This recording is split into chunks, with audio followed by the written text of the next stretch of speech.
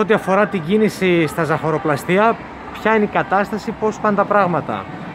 Βγήκε ο κόσμος, κινήθηκε η αγορά σήμερα. Βέβαια οι ποσότητες ήταν πολύ περιορισμένες σε σχέση με άλλες χρονιές γιατί δεν είχε μετακινήσεις, οι οικογένειες δεν θα μαζευτούν, οπότε ήταν περιορισμένες ποσότητες.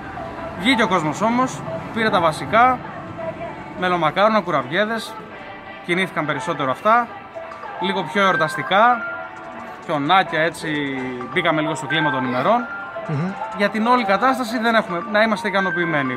Τώρα περιμένετε τις ημέρες της πρωτοχρονιάς, Τώρα έτσι. μπαίνουμε σιγά σιγά στη διαδικασία με τη Βασιλόπιτα για πρωτοχρονιά και ελπίζουμε το καλύτερο, να ξανα μας, μας ξαναπροτιμήσει ο κόσμος, να ξαναβγεί στην αγορά. Αυτό.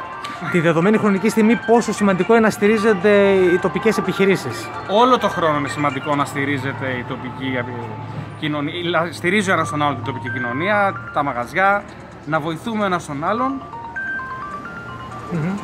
Ευχές. Ευχές σε όλους. Καλά Χριστούγεννα με υγεία πάνω απ' όλα. Γιατί σήμερα είχαμε πολλούς πελάτες που ήρθαν και που πέρασαν το πρόβλημα με τον κορονοϊό και μας είπαν ότι ήταν δύσκολα. Οπότε υγεία για όλους. Για όλους. Ωραία. Το σημαντικότερο.